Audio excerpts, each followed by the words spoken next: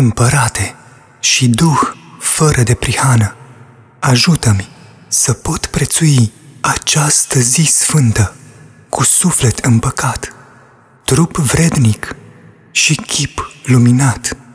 Împarte-mi și mie astăzi din multele minuni pe care le trimiți celor ce se roagă ție și fămă să fiu și eu izvor de încredere și de ajutor pentru aproapele meu, căci așa cum se desprinde toamna, frunza de ramură și cade apoi la pământ, tot așa este și soarta noastră pământească, însă veșnică va fi soarta noastră cerească și mântuiți vor fi aceia ce își pun nădejdea în tine.